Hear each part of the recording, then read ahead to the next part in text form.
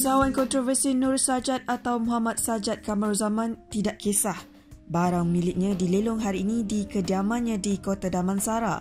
Dalam satu video di TikTok, dia berkata barang miliknya dilelong merupakan helah untuk dia pulang semula ke rumah.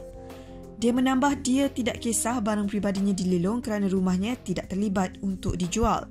Sebelum ini, Mahkamah Tinggi Shah Alam mengarahkan harta usahawan itu disita bagi menuntut pampasan sebanyak RM200,000 yang gagal dibayar kepada bekas tokisnya Owa Resources Sendirian Berhad. Berdasarkan pengisytiharan jualan yang dikeluarkan oleh Mahkamah Tinggi pada 8 Disember lalu, lelongan awam berkenaan akan dilaksanakan di rumah Muhammad Sajat beralamat di Premis 2, Jalan Polo 10 Palang 3, Kota Damansara, Petaling Jaya, Selangor.